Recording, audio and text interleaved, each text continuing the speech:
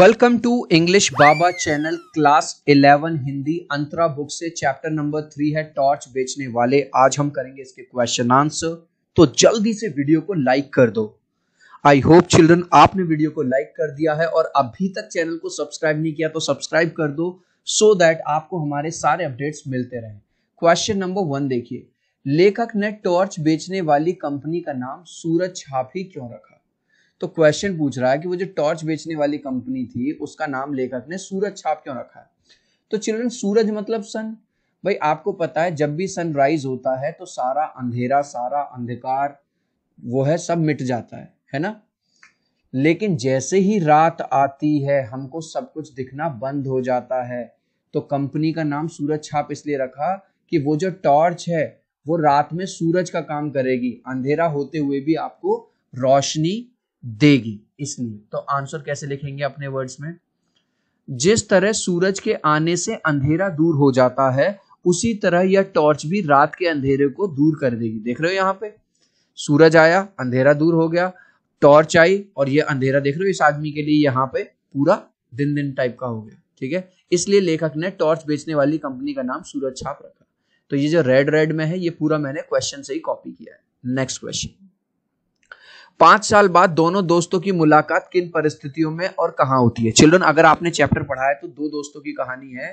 तो पाँच साल बाद उनकी मुलाकात होती है। एक दोस्त एक कथा वाचन वाला मंच देखता है जहाँ पे एक महाराज जी बैठे हुए हैं। एक्चुअली वो महाराज कोई और नहीं थे, उसी का दोस्त था। तो आज वो जो एक दोस्त है, वो महाराज बन गया, उसके हज़ारों लाखों फॉलोअर बन गए हैं। खूब पैसा कमा लिया है, बड़ी गाड़ी में घूमता है, लोग उसके पैरों को हाथ लगाते हैं।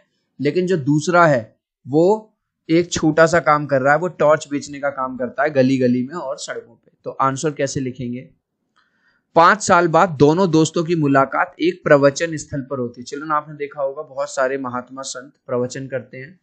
लेकिन दोनों की स्थितियों में अंतर था। दोनों की कंडीशन बिल्कुल अलग थी। दोनों में से एक उपदेशक बन जाता है। देख रहे हो यहाँ पे? तो ये कौन बन गए? महाराज जी बन गए और, ठीक है, महात्मा बन गए।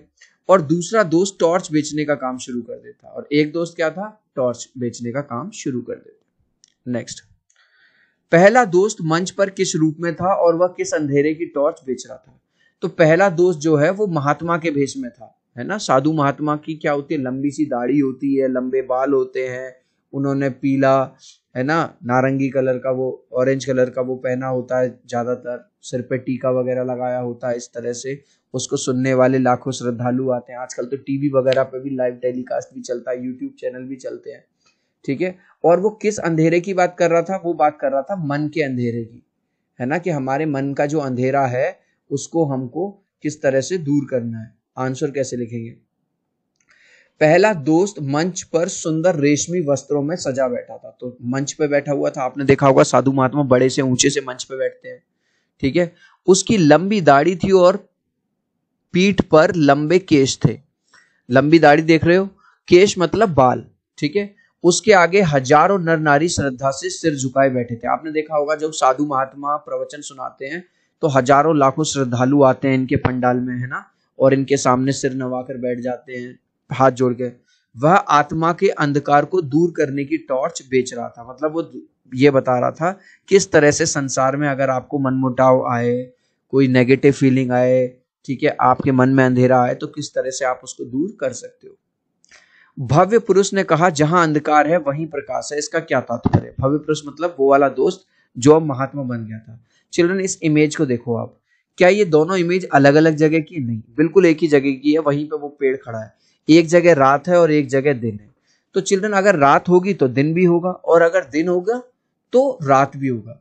तो भव्य पुरुष ने ये वाली बात बताई कि भैया देखो, जहाँ अंधकार है वहीं पे प्रकाश है, जहाँ दुख है वहीं पे सुख है, और जहाँ सुख है वहीं पे दुख है। तो हमें किसी से घबराना नहीं चाहिए और वो जो प्रकाश है हमको कहीं और नहीं मिलेगा, अपने मन के भीतर ही मिलेगा। आंसर। भव्य पुरुष ने अपने प्रवचन में कहा कि जहाँ अंधकार है वहीं प्रकाश है। देख लिया इस चित्र में हमने। जैसे हर रात के बाद सुबह आती है, उसी प्रकार अंधकार के बाद प्रकाश आता है। है ना? नाइट के बाद डे होता है डे के बाद नाइट होती है। उसी प्रकार अंधकार के बाद इंसान को अपने भीतर ही ज्ञान के प्रकाश को ढूंढना चाहिए। तो वो कह रहे हैं कि इंसान इधर उधर भटक के फिर रहा है, लेकिन असली जो ज्ञान है, असली जो प्रकाश है, वो इंसान के अंदर ही है, बाहर नहीं है। भीतर के अंधेरे की टॉर्च बेचने और सूरज छाप टॉर्च बेचने के धंधे में क्या अंतर है? पाठ के आधार पर बताइए। अब जो भीतर के अंधेरे की टॉर्च बेच रहा है, वो तो महात्मा है, संत है, लाखों, हज़ारों उसके, क्या नाम है भक्तगढ़ हैं जो उसको फॉलो करते हैं, है ना, सिर नवाते हैं, कितनी ज़्यादा भेंट उसके लिए चढ़ाते हैं। लेकिन जो टॉर्च बेच रहा है, वो तो भाई साहब सड़कों पे हज़ारों, लाखों लोग मतलब सामान बेचने वाला एक आम इंसान है। लेकिन ये कोई आम इंसान नहीं है है ना? इसके लिए लोग मतलब कुछ भी करने के लिए तैयार हैं। बस गुरुजी की एक झलक मिल जाए। कितना भी पैसा गुरुजी को चढ़ाना पड़े गुरुजी से एक मीटिंग हो जाए है ना? गुरुजी की एक कथा सुनने को मिल जाए। गुरुजी बड़ी बड़ी गाड़ियों में घूमते हैं। लेकिन वो जो आम टॉर्च बेचने वाला आदमी है वो बेचारा क्या है? बस सड़कों पे घूम घूम के टॉर्च बेचता है। तो ये पूछ रहा है दोनों धंधों में ज़मीन आसमान का फ़र्क है, है कि नहीं? भाई एक देखो एक के हज़ारों लाखों फॉलोअर और एक को ढंग से इज़्ज़त भी नहीं मिलती। जो भीतर के अंधेरे की टॉर्च बेचता है, वह सिद्ध पुरुष है, उनका स्थान उच्च होता है। है कि नहीं? बड़े से आसन मिलता है है ना? बड़े से महल में रहते हैं, बड़े से घर में रहते हैं, नौकर चाकर होते हैं। हज़ारों लोग उनके आगे सिर झुकाते हैं। झुकाते हैं कि नहीं झुकाते? और उनका अनुसरण मतलब उनको फॉलो भी करते हैं। वहीं सूरज छाप टॉर्च बेचने वाला व्यक्ति, सड़क पर सामान बेचने वाले व्यक्तियों की तरह एक साधारण इंसान है। लेकिन ये जो क्या है, जो टॉर्च बेच रहा है, वो बिल्कुल जो लोग सड़कों पर सामान बेचते हैं, उनकी तरह से एक साधारण आदमी है। चिल्ड्रन आपके लिए हर क्वेश्चन के आंसर्स को मैं इतना सिंपल बनाने की कोशिश करता हूँ, जिसमें बहुत मेहनत लगती है। तो यार, एक लाइक तो बनता है। प्लीज़ अगर आपके दिल तक पहुँचे तो प्लीज़ एक लाइक ज़रूर कर देना। मैं तीन तक काउंट करूँगा। आपके एक लाइक से एक सब्सक्राइब से बहुत मोटिवेशन मिलता है। One two three so I hope children आपने वीडियो को लाइक कर दिया है चैनल को सब्सक्राइब कर दिया थैंक यू गाइज़ सवाल के पाँव ज़मीन में गहरे गड़े हैं, यह उखड़ेंगे नहीं। इस कथन से मनुष्य की किस प्रवृत्ति की ओर संकेत किया गया है? एक्चुअली ये कहानी दो दोस्तों की है, जो कि एक टाइम पे बहुत गरीब होते थे। और वो दोनों ये सोचते थे कि पैसा कैसे कमाया जाए, पैसा कैसे कमाया जाए, लेकिन उनको कोई उत्तर नहीं मिलता। इस चीज़ को चिल्ड्रन, हम, आप जब एग्ज़ाम में बैठते हो तो बहुत सारे क्वेश्चन होते हैं, ठीक है? अब सपोज़ करो, अगर आपको फ़र्स्ट क्वेश्चन नहीं आ रहा तो क्या आप फ़र्स्ट क्वेश्चन का ही आंसर ढूंढते रहोगे और तीन घंटे इसी में बर्बाद कर दोगे? या आप थोड़ी देर बाद ये सोचोगे कि चल यार, ये नहीं आ रहा तो कम से कम ये तो कर लूँ, बचे हुए तो। तो ऐसे ही ये दोस्त ये कहते हैं कि जब जिस जिस सवाल का हमको जवाब मिल ही नहीं रहा तो उसमें समय वेस्ट करके क्या फ़ायदा, कुछ और कर लेते हैं। ठीक है? तो उसका कोई फ़ायदा नहीं है। तो यहाँ पे ये वाली बात कही गई है कि जो चीज़ हमसे नहीं आती, हम उस चीज़ को क्या कर देते हैं? नजरअंदाज कर देते हैं टाल मटोल कर देते हैं। आंसर को समझ दोनों दोस्तों ने पैसे कमाने की कई कोशिशें की। दोनों के मन में सवाल आता था कि पैसे कैसे कमाए जाएँ।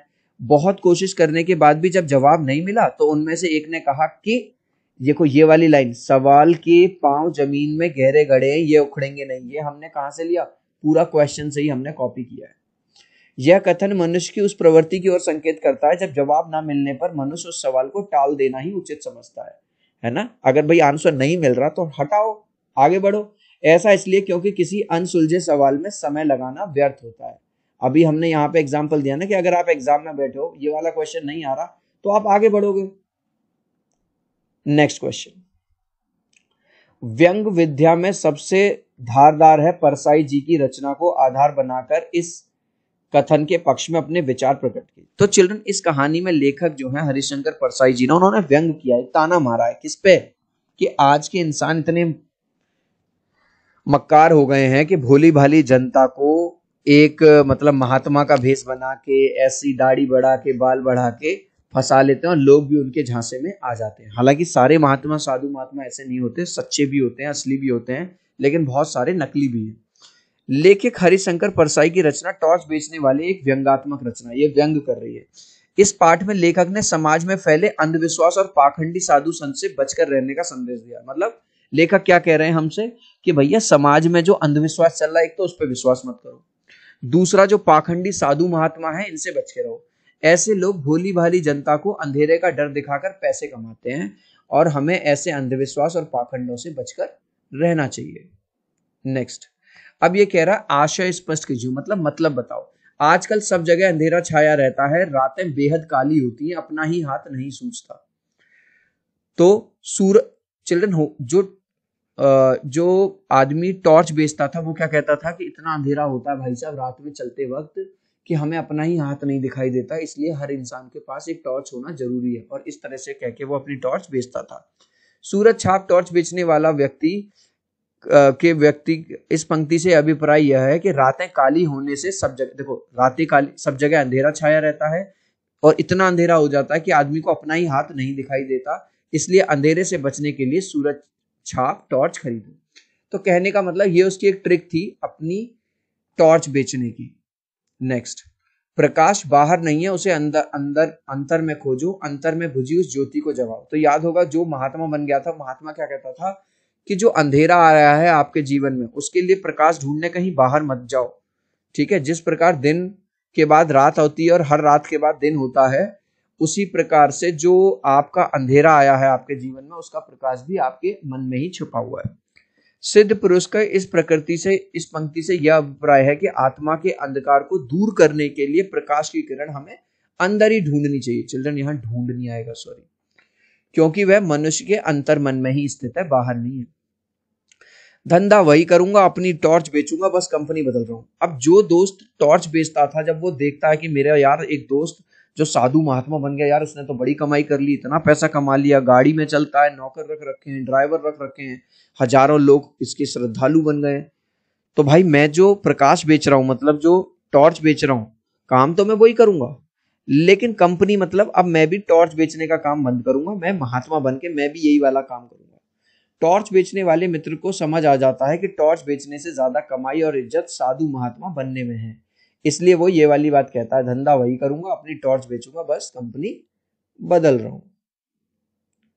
लेखक ने सूरज छाप टॉर्च को नदी में क्यों फेंक दिया?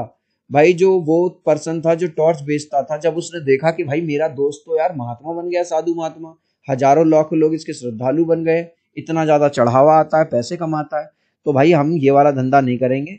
टॉर्च बेचने का वो सारी टॉर्च फेंक देता नदी में, वो कहता, अब हम भी महात्मा साधु बनेंगे। लेखक ने सूरज छाप टॉर्च को नदी में इसलिए फेंक दिया क्योंकि उसने सोचा कि इस टॉर्च बेचने वाले रोज़गार से ज़्यादा कमाई नहीं हो रही। क्यों ना मैं भी अपने दोस्त की तरह, संत की तरह ज्ञान रूपी अंधकार को दूर भगाऊं, है ना? मैं भी लोगों को ज्ञान बांटूँगा, इससे गाड़ी, बंगला, पैसे सब कुछ मिलेगा मुझे तो मैं भी अब वही काम करूँगा। टॉर्च बेचने वाले किस प्रकार के स्किल का प्रयोग करते हैं? चिल्ड्रन, आपने देखा होगा, गाड़ियों पे, सड़कों पे जो आज भी कोई दंत मंजन बेच रहा है, कोई ब्रश बेच रहा है, कोई टॉर्च बेच रहा है वो कुछ अलग अलग स्किल का यूज़ करते हैं। नंबर वन, एक तो उनका बोलने का तरीका बड़ा अट्रैक्टिव होता है ना। दूसरा कस्टमर को अट्रैक्ट करने का, उनके पास ग्राहकों को आकर्षित करने का। ग्राहकों को तरह तरह के फ़ायदे बता देते हैं और प्रचार बहुत अच्छी तरह से कर सकते हैं। ये पूछ रहा क्या इसका स्किल इंडिया से कोई लेना देना है? नो स्किल इंडिया से तो कोई संबंध नहीं है, ये खुद की कला होती है। गाइज़ इस लास्ट क्वेश्चन का आंसर आप मुझे दोगे कमेंट सेक्शन में देखूँगा कितने बच्चे राइट आंसर देंगे। सूरज छाप कंपनी क्या बेचती थी? कैंडल बेचती थी, टॉर्च बेचती थी, बाइक बेचती थी या नन आप चाहो तो अपने आंसर में कमेंट में ए बी सी या डी लिख देना, मैं समझ जाऊँगा। देखूँगा कितने बच्चे राइट आंसर देंगे कमेंट में।